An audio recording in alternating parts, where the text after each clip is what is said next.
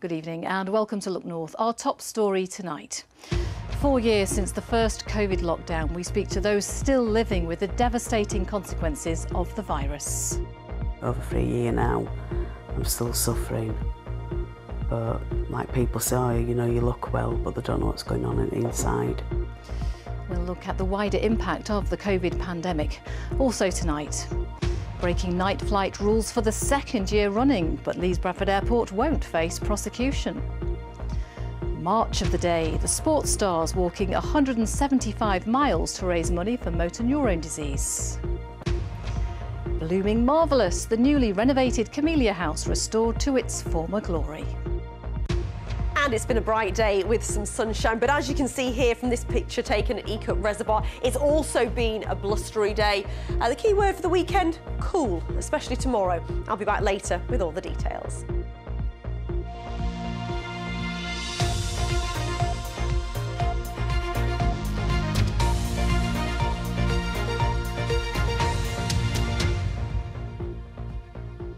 Hello and thank you for joining us this Friday evening.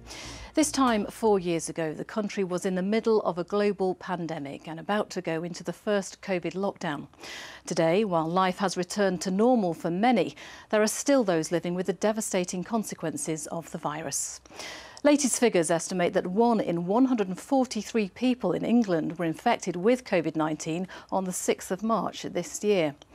Those infected between November and February face a 1 in 224 chance of being hospitalised, although that risk varied with age. It's more difficult to know how many people are infected with long COVID as the last official statistics were published a year ago. At that time, an estimated 1.9 million people in the UK were experiencing symptoms more than four weeks after infection. Our health correspondent Jamie Coulson has been to meet two patients whose lives have been changed by long-lasting symptoms of COVID. Long COVID, I think, is an invisible illness. If I wasn't wearing the sunglasses because of the light intolerance and I wasn't wearing the mask, I'd look pretty normal. But I'm just so, so far from what my normal used to be. Mike first caught COVID in October 2020 and then again in September 2022. Both infections caused catastrophic long lasting symptoms that include extreme fatigue, brain fog, breathlessness, pain, and hearing loss. There are times when the once active 61 year old can be bedbound for up to 20 hours a day. My world has shrunk um, so I used to travel a lot with work. I used to travel a lot with fun. Um, I would dance 12, 15 hours a week. Did a lot of hill walking and fell walking. I loved, loved, loved being in the hills. And my world has shrunk literally from the world to this house. It's difficult to know exactly how many people are living with long COVID, as the Office for National Statistics stopped publishing data a year ago. However, NHS statistics show there were more than 1,500 new referrals to long COVID clinics in England in January alone. Professor Stephen Griffin is a uh, virologist at the University of Leeds. You can develop long COVID after any sort of severity of, of COVID infection. So we are still pretty much at the same level of risk um, as we were in terms of the number of cases that we're seeing. Our individual chance of developing long COVID has reduced because of vaccination, but the sheer scale of SARS-CoV-2 infections in the country still means that we're seeing, we estimate, somewhere around one or two million people suffering from this condition even now. I thought I was going to die. They had to like resuscitate me twice. And then you see people dying around you, wondering if you're going to wake up the next day. Kelly Day spent 31 days in hospital with COVID, 11 of which were in intensive care. More than three years later, she still struggles with a range of debilitating symptoms, but feels there isn't much understanding. People say, oh, you know, you look well, but they don't know what's going on inside and mentally as well. It's just been forgotten about, you know what I mean? And they just think, oh, I've got long COVID, it's just an excuse. Do you know what I mean? But there's a lot of people suffering. Both Kelly and Mike have received support from long COVID clinics, but the direction of their lives has been completely changed. Jamie Coulson, BBC Look North. Well, earlier I spoke to Dr. John Wright, who is the director of the Bradford Institute of Health Research, which has looked at some of the wider impacts of the pandemic on society. I began by asking him about the impact of long COVID. You can listen to Mike and Kelly's stories. I mean, that's very typical for severe long COVID patients. They say how it just turns their lives upside down. They become shadows of what they were. And you've been looking at the wider impact on society in your research. What have been your most worrying findings? Yeah, thanks to the thousands of families in our Born in Bradford study, we've been really at the forefront of researching COVID and you know, understanding its impact, understanding the risk factors for long COVID. And our attention really is turning to the children and young people now. And what we're finding is if you were born during the pandemic, for example, children are slow in meeting their developmental speech um, milestones, they're getting more anxious as toddlers. Uh, they're not, you know, struggling to interact with other children. And the teenagers are having this epidemic of uh, anxiety and depression and, and sadly loneliness. And what lessons have been learnt? So we've got a big national COVID inquiry going on at the moment. Many lessons will be learned. But I think the key one is how unequal our country has become we, we live in one of the most unequal countries in the world. And I think, you know, it's the poorest who have really suffered, who've had the most infection, the most deaths, the highest risk of long COVID, and the most financial impacts following the pandemic. As we can see, it's still affecting people's lives, but there are many people out there who say the pandemic is behind us. What's your view on that? Well, you know, it feels like a lifetime ago, doesn't it? It feels like a different world. But the consequences, you know, we're going to get the shock waves for many years to come. You know, in the NHS, we've got waiting lists up to 8 million. Um, and when we see, you know, when we work with the schools, we realise how that educational loss during the pandemic is really playing out into long-term effects on the children. And of course, you were there on those COVID wards in the height of the pandemic. What are your abiding memories? Well, you know, this time four years ago it was why the hell is the government not having lockdown earlier? But um, and then we had all the sort of chaos of PPE and things like that. I, I think my abiding memory is our resilience, um, both in the NHS, you know, how we pulled together, how innovative and creative we were, and I think we across society actually. Yeah, we've learnt a lot, Dr. John Wright. Thank you for your time this evening. Pleasure. Well, it wasn't just people who were affected by the COVID pandemic. Many businesses were also severely impacted, including some of our best known tourist attractions. In Pickering, the North Yorkshire Moors Railway has struggled with rising costs and falling visitor numbers in the years following the pandemic. At one stage last year, there were concerns for its long-term future. Now, though, as the railway prepares to open for Easter, managers say they've turned a corner. Phil Connell has more. You've missed a bit. Have I missed a bit? Right. They're preparing to welcome their first visitors of the year. At the North Yorkshire Moors Railway in Pickering, the Easter break activities start this weekend, a time to spruce up the station and fire up the engines. Well, it's a bit like coming out of hibernation, you know, with the, the, the, lighter nights and days now are sort of coming together and we're, we're all getting ready for the start of the season. And it actually has been a long winter of maintenance for us guys. And the clock's ticking. It's literally, you know, we're waiting for the gong and then we go, we start running again. And as the doors open here on Saturday, bosses will be hoping for an extra busy season. As with many attractions, the impact of the COVID pandemic is still being felt here. At one stage, ticket sales fell by 50%, and coupled with a big rise in operating costs, at one stage last year, concerns were expressed about the railway's long term future.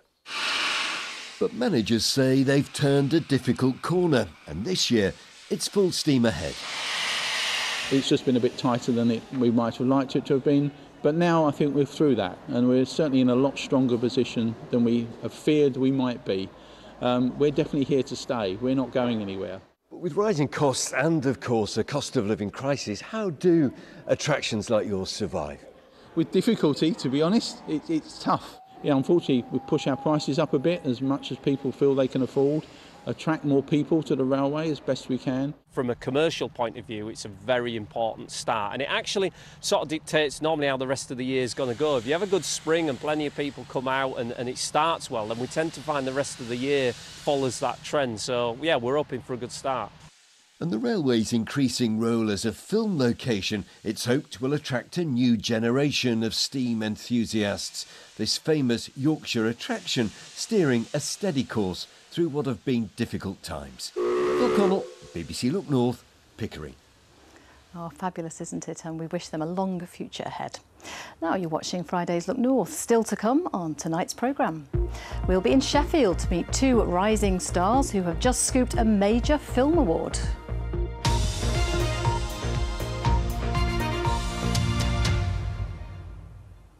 But first, West Yorkshire Police have launched an investigation into alleged racist comments made by a leading Conservative Party donor. Leeds businessman Frank Hester reportedly said MP Diane Abbott made him want to hate all black women. He's apologised for making what he called rude comments about her. Corin Wheatley reports.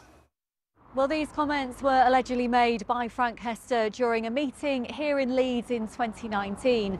The comments were reported in The Guardian earlier this month. In reference to Diane Abbott, Frank Hester is alleged to have said, You just want to hate all black women because she's there, and I don't hate all black women at all, but I think she should be shot. Now, he's apologised for making what he called rude remarks about her, but he said uh, they had nothing to do with her gender or the colour of her skin.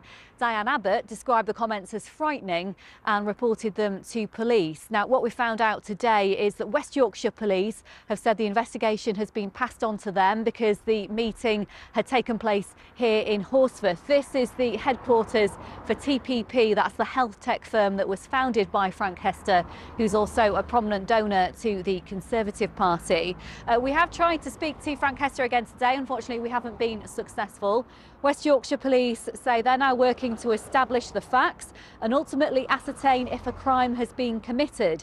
The force also says it recognises there's been a strong reaction to these allegations and they're asking anybody to get in touch if they can directly assist with the investigation. Corin Wheatley with that report. Next tonight, for the second year in a row, Leeds Bradford Airport has exceeded the number of flights it's allowed to fly at night time, but they won't be facing prosecution. In 2022, the airport flew 747 extra flights at night time and promised it wouldn't happen again, but it has done. Last year, the airport flew an additional 577 night flights.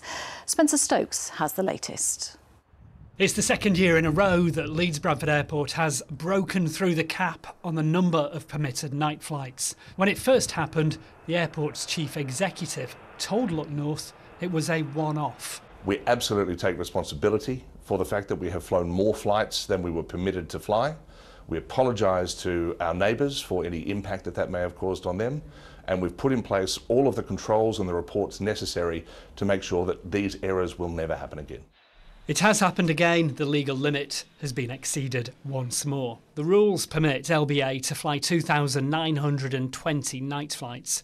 In 2022, they flew an additional 747. Last year, the figure was 577 additional flights. Still a substantial breach. Leeds City Council warned LBA last year that a repeat could lead to a prosecution but they haven't followed through on that threat. The council say the decision was not taken lightly, but they don't think it's in the public interest to bring a prosecution. And the cost of that prosecution would far outweigh the maximum permitted fine against the airport, which is £2,500. We know the, the airport broke the rules in 2022. We know they broke them in 2023 it's almost certain they're going to break them in 2024. So how long is this going to go on until some action is taken? These rules were agreed by the airport, they must stick to them. Effectively, the council has given the airport a green light to continue to flout the nighttime rules, and that's going to have a direct impact on the health of the people of this city. Today, the airport said, We are disappointed with the decision on the breach of night movements. We remain confident in our interpretation of the planning conditions. The interpretation of the rules is subject to ongoing discussions between Leeds City Council and Leeds Bradford Airport, but the council has ruled that private jets do count towards night flights. A further decision will be made by the council before October on whether the airport has broken the cap for the last decade. The airport maintains it has no desire to operate an unlimited number of flights. The question remains will it exceed the night flight limit this summer? Spencer Stokes, BBC Look North, Leeds. Now take a look at this fantastic photograph of togetherness because when sporting communities come together powerful things can happen and today football fans from across West Yorkshire took part in a charity walk in aid of the Darby Rimmer MND Foundation. It's been organised in honour of Bradford City legend Stephen Darby and former Huddersfield town forward Marcus Stewart. Both of them live with motor neurone disease. The challenge began at Valley Parade this morning and called in at Elland Road and the John Smith Stadium. Our sports reporter Sally Hurst has been following the walkers. Let's go, team. 8am and Bantams fans are gathering at Valley Parade to show their support for an important cause. I lost my dad this year to MND, so it's personal, quite personal for me. It, it is a cruel disease, so anything anybody can do to raise a little bit of money, a bit of research into it, it's beneficial, yeah. The walk covers 170 miles over three days and is dedicated to City legend Stephen Darby and former Huddersfield town forward Marcus Stewart, both living with motor neurone disease. Now, you know, there's a few people with a higher profile that, you know, are, are starting to get MND in, in the spotlight and trying to um, trying to find a cure for it, whereas 20 years ago there was, no chance. So I think yeah, I think it's going to be it's going to be a tough few days for these guys, but ultimately we're all here for the same reason. Awareness about MND has increased with the involvement of high profile players from across sport, including Rob Burrow, here today with wife Lindsay. They're taking part in the first leg of the walk such a special day, I think, again, just to kind of, you know, keep banging that drum, keep raising that awareness and just so show support. Um, you know, we're, we're all one team and, uh, you know, continue to keep banging that drum. And you're actually going to do part of the walk. How challenging is that going to be for you and Rob? Um, well, I'm no Kevin Sinfield, so we, we, uh, we, we, will be, yeah, nice steady walk. I think just to be here and be part of, you know, this group and uh, really looking forward to it today. The first section of the challenge goes from Bradford to Leeds via Thornbury, Pudsey and Farnley and for once the sun is actually shining. Well, the walkers are around 10 miles into their challenge and just arriving here at Elland Road. Here, walkers were greeted by other members of the MND community, including campaigner Ian Flatt. Sometimes, even when you're surrounded by people that you know, you can feel quite lonely in this disease. And you come to events like this, and it really lifts you, and you realise you're not alone, actually. And and there's such a, a supportive community. Uh, and it's really, yeah, it's uplifting. From Elland Road, a hilly section of the A62 leads to the John Smith Stadium in Huddersfield. Not too bad. A few blister patches, but we're all right. Yeah, we're good. It's horrendous. Talk to them. Why was it horrendous? There was hills, hills that we didn't expect, and there was no pubs. The walkers now have around 23 miles in the bag, only another 152 to go. Next up is the other side of the Pennines at Oldham Athletic, with the finish line in Anfield on Sunday afternoon. Sally Hurst, BBC Look North, Huddersfield. Hooray! Hooray! An incredible effort despite those flipping hills. Now we're staying with sport and all eyes will be on Sheffield on Saturday as two of Yorkshire's rising boxing stars take to the ring for their title fights. Terri Harper from Doncaster is hoping to become a three-weight world champion as she takes on Sandy Ryan. And Dalton Smith will be entering the ring in his home city as he takes on Jose Zepeda for the WBC Silver Super Lightweight title. This is my chance to become a three-weight world champion. So uh, I am moving back down away from the division above. This this new weight, 147, is a lot more natural to me, and um, I feel a lot more comfortable this way. So I'm excited to get in the ring and, and put on a good performance. The more we win, the more you know pressures get put on us. But you know that's what brings the best out in us, and you know Saturday night that's what I'll be doing. Next tonight, a story of bravery, mystery and friendship, and that's just on screen. Two young women from South Yorkshire have won a major film award for people with learning disabilities or autism. Today, Kirsty and Jenny were back in Sheffield for a bit of a do. Tom Ingle has been to meet them. Really good job. And these are for you as well. For Kirsty and Jenny, a well-deserved salute from their friends and fellow artists.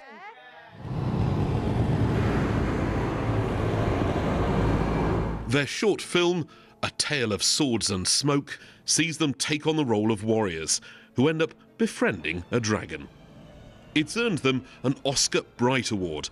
That's a film festival dedicated to celebrating work produced by people with learning disabilities or autism. You're the winner. What? How? You're both winners. How does Yeah, that feel? both Winners. I feel amazing. I feel proud. I like action. I like the filming. I like the best part.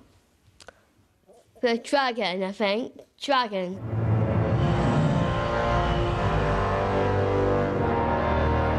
The fearsome dragon itself, who ends up sharing jam sandwiches with our heroes, was built by other members of the Artworks collective in Sheffield.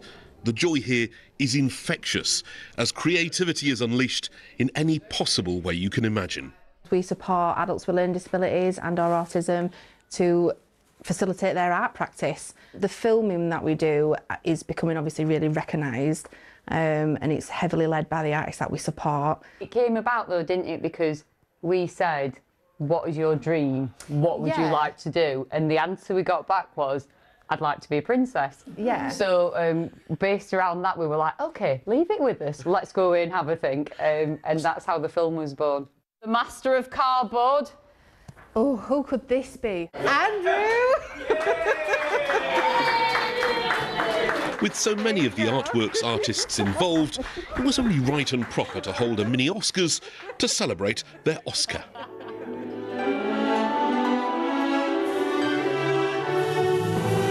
Like all good stories, it's a happy ending all round. Awards success, the promise of future films to come, and most importantly, two young friends, doubtless on their way to greater things. Tom Ingle, BBC Look North, Sheffield. Fantastic, richly deserved. Now, dare I say it, spring is officially here, which should mean our gardens are bursting into bloom. These beautiful flowers are, of course, called camellias, and from growing wild in China, they became prized showpieces for the 18th century aristocracy. Living at Wentworth Woodhouse since 1738, the building which houses them was in a state of decay. But as Phil Bodmer reports, the camellias now have a spruced up home, which everyone can enjoy over a choice of teas from around the world. These beautiful blooms belong to one of the most important camellia collections in the world. For more than 200 years, they've survived and thrived right here in South Yorkshire.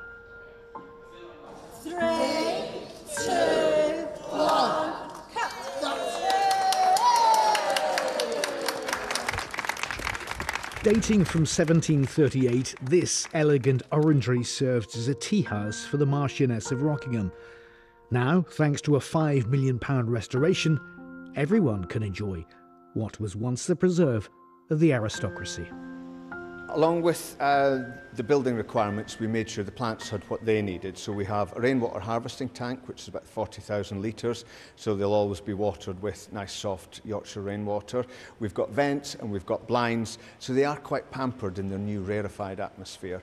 And for a lot of years, because there was no roof, they lived like say a feral lifestyle. Now everything they need is down to myself and the garden team.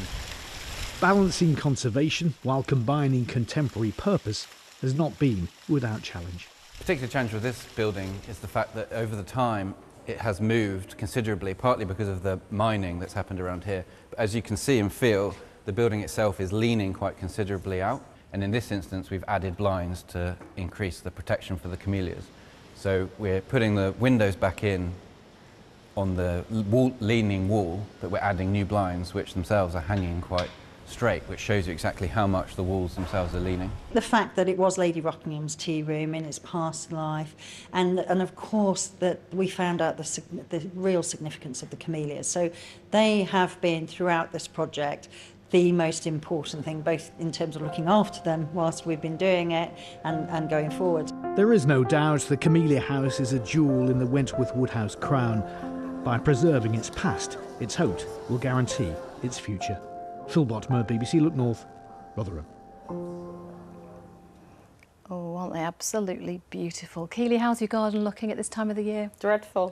I didn't put any bulbs in and now I'm really regretting it. It looks absolutely sorry for itself. Well, we've got a new patio, so I'm very excited. Oh, very I'm going to be out doing some potting in the next Well, now Phil's weeks. picked up a few tips. He can come and help you, can't Absolutely. he? Oh, I'll tell you what, the time will fly by talking gardening. Talking of gardens. And weather. Yes. Look at this lovely picture here. Uh, the garden's looking lovely um, just in front of uh, Knaresborough Castle. And I I suspect lots of the gardens will look nice uh, today because it has been a lovely bright day uh, with some sunshine at last. Uh, but it's also been quite a blustery day. I thought this picture summed up today really well. These daffodils being blown sideways uh, in the breeze with some nice blue skies uh, overhead. You can keep your weather pictures uh, coming into the Weather Watchers uh, page or you can contact us on social media as well, keely.donovan on Instagram, on X, Keely Donovan.